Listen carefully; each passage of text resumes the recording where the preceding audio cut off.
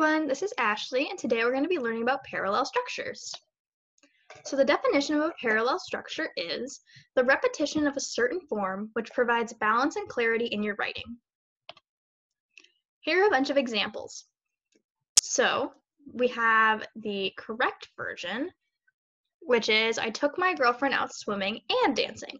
Notice that we have the same ing endings for both of these words. And for the incorrect version, we have I took my girlfriend out to swim and dancing. These have different endings. This has ing, and this one is just the regular word. Here we have a not parallel example as well. Ellen likes hiking with the ing, the rodeo, no ing, and to take afternoon naps. Again, no ing. To make this one parallel, we would have to have all of them with an ing or have them all be regular. This is a parallel example too. Again, notice that we have hiking, attending, and taking all end with an ing, so they are parallel. And same thing with the last one. They are parallel because they all end with the same ending of the regular word.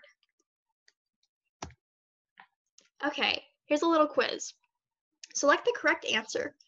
Complete the sentence.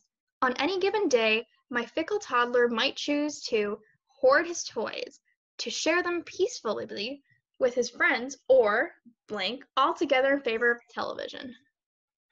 So we have or abandon them altogether in favor of the television or to abandon them. So what do we notice here is I helped you out a little bit by bolding to. So we see that the parallel structure is the word to. So it would be this answer, to abandon them, to continue the parallelism. The next one we have is complete the sentence. Today I will be giving away my old clothes, buying new clothes, and blank. So we see the ing here again. So would it be traveling to Arizona or travel to Arizona? Obviously, it would be traveling to Arizona because of the ing. All right, now for a video. Welcome to Parallel Structure, the only game show where you choose a grammatical form and stick with it through the whole sentence. Now, let's welcome our first contestant, Mitch. Oh, Mitch, good to have you on the show. It's great to be a part of it, Mark. Mitch, what are some things you like to do for fun in your free time? Oh, I really enjoy watching movies, baking, and riding my bike. Ah ha ha ha! Very nice. And it seems you already seem to know a thing or two about parallel structure. That I do. Great.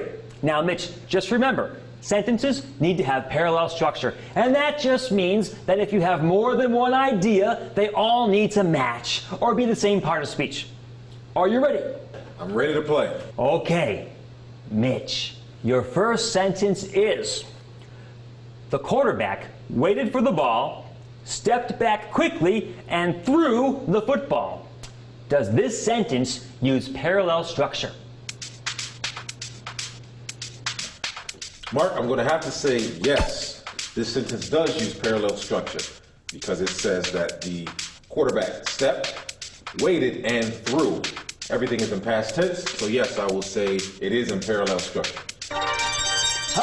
Ah, great start, great start. You got that one perfect, Mitch. Let's look at your next sentence. It says, her daughter aspires to be a teacher, singer, or act in movies. Does this sentence use parallel structure? Hmm, that's a tricky one, Mark. But I'm going to have to say no, because the sentence reads, her daughter aspires to be a teacher, a singer, or act in movies. Now, teacher and singer are both nouns, but act in movies, it's not a noun, so we're going to have to say no. Unbelievable, Mitch. Wonderful. Perfect. You have done it again. But for 20 extra super secret bonus points, can you change this sentence so that it correctly uses parallel structure? Oh boy, okay. All right, um, I believe I can, Mark. Give it a shot. Her daughter aspires to be a teacher, singer, or an actress. Oh, Mitch! You've done it again! Unbelievable! A perfect score. Boy, oh boy, Mitch, you sure played this game quickly, bravely, and got every question right. Ah. Mitch, you sure played this game quickly, bravely, and accurately. Thank you for being here. Thank you for joining us on Parallel Structure.